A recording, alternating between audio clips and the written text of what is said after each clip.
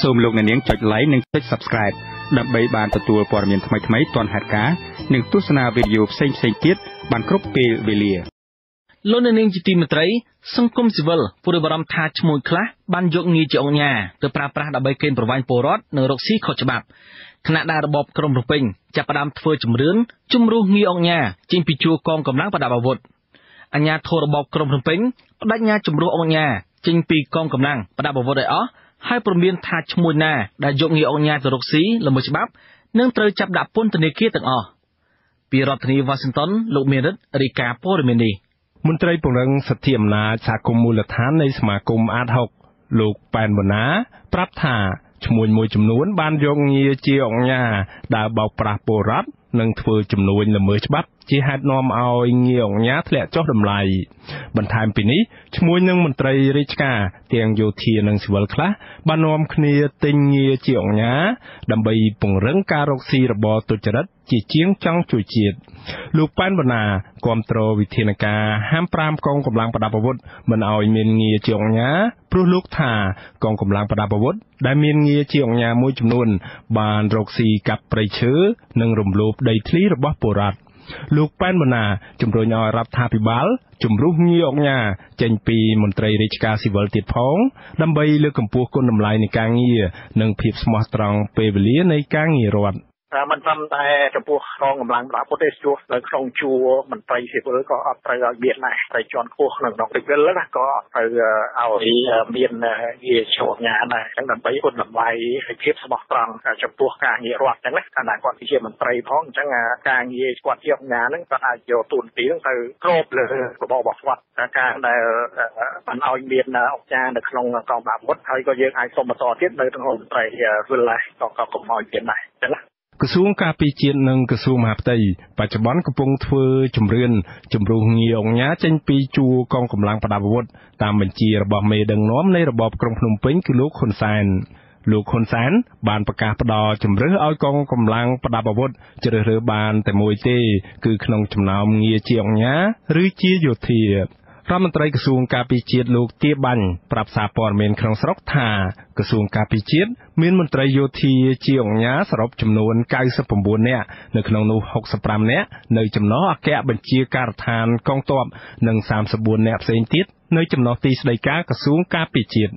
លោកទាបាញ់ប្រាប់ថាក្នុងចំណោមអ្នកទាំងនោះមានអ្នកខ្លះសម្រាប់ចិត្តជ្រើសរើសយកទូនាទីយោធានិងខ្លះទៀតជ្រើសរើសយកក្រុមងារអង្គញាក៏ប៉ុន្តែការសម្រេចចិត្តផ្លូវការណាមួយនោះនឹងត្រូវធ្វើឡើងតាមនីតិវិធីជាបន្តទៅទៀត ចំណែកនៅក្រសួងមហាផ្ទៃវិញក៏មានមន្ត្រីប៉ូលីសមានងារជាអង្គញាច្រើននោះដែរអ្នកនាំពាក្យក្រសួងមហាផ្ទៃលោកខៀវសុភ័ក្រប្រាប់សារព័ត៌មានក្នុងស្រុកថាក្រសួងមហាផ្ទៃកំពុងធ្វើជំរឿនមន្ត្រីប៉ូលីសនិងរកឃើញថាយ៉ាងតិចណាស់33នាក់ជាប៉ូលីសមានងារជាអង្គញា របបក្រុងភ្នំពេញ កាលពីថ្ងៃទី20ខែមីនាឆ្នាំ2017កន្លងទៅ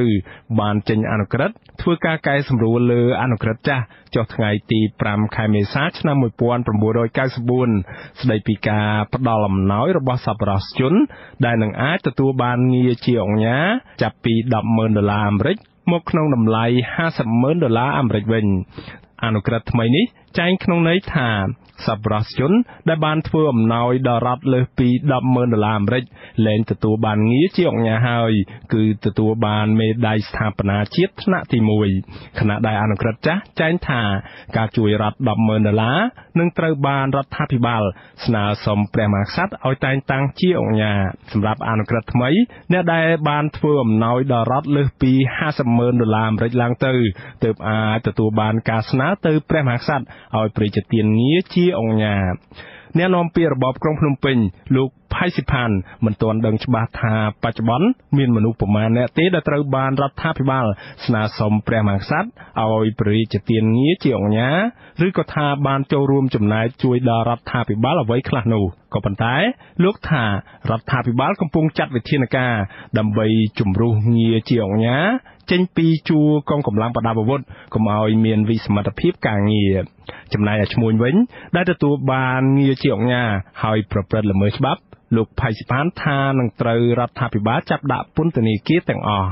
មានថាអង្គការខ្លះគឺគាត់ពាក់ព័ន្ធនឹងអំពើអសកម្មនឹងឯងតាមតែមើលណាហ្នឹងហើយអាស្រ័យឲ្យដូច្នេះបានឃើញអង្គការមួយចំនួនដែលប្រើប្រាស់នឹងអំណាចរបស់ខ្លួនខុសទិសដៅទៅប៉ះពាល់ទៅដល់ព្រៃឈើឬក៏ដីធ្លីបានចាប់ញាត់គុកជាបន្តបន្ទាប់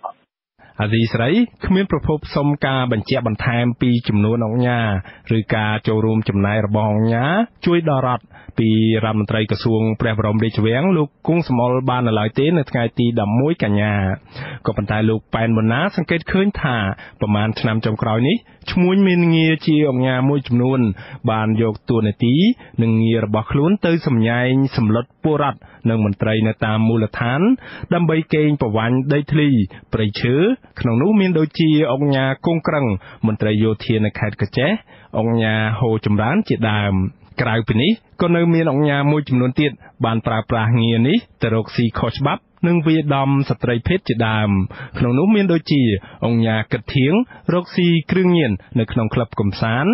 អង្គញាថោងសារ៉ាត់ជាប់ទោសពីបទបញ្ជាឲ្យបាញ់សម្លាប់មនុស្ស អង្គញាសុកប៊ុនវាដំពិធីករណីទូរទស្សន៍ CTN និងខົບខិតគ្នាជាមួយមន្ត្រីបកកណ្ដាលអំណាចរំលោភយកដីរដ្ឋនិងដីពលរដ្ឋនៅសង្កាត់កោះរ៉ុងក្រុងបរសេនុអង្គញាហ៊ុនជាអង្គញាហ៊ុនតូអង្គញាហ៊ុនចូចឬឌីចូចអ្នកស្រីអង្គញាឌីព្រឹមសាច់ញាតិរបស់លោកហ៊ុនសាន ដែលតែងតែប្រើប្រាស់អំពើហិង្សាបាញ់បោះជាសាធារណៈដោយសេរីជាដើមបន្ថែមពីនេះនៅមានអង្គញាមួយចំនួនទៀត ក៏កំពុងប្រើតួនាទីរបស់ខ្លួន ទៅរកស៊ីកាប់ឈើនាំចេញទៅលក់នៅប្រទេសវៀតណាមអង្គញាខ្លះទៀតនាំពលករទៅធ្វើការខុសច្បាប់នៅក្រៅប្រទេសនិងអង្គញាមួយចំនួនទៀតមានរឿងអាស្រូវដណ្ដើមដីធ្លីដីបឹងជាមួយពលរដ្ឋនៅក្នុងសហគមន៍ក្រីក្រជាដើមខ្ញុំបាទមានរិទ្ធអាស៊ីស្រីពីរដ្ឋធានី Washington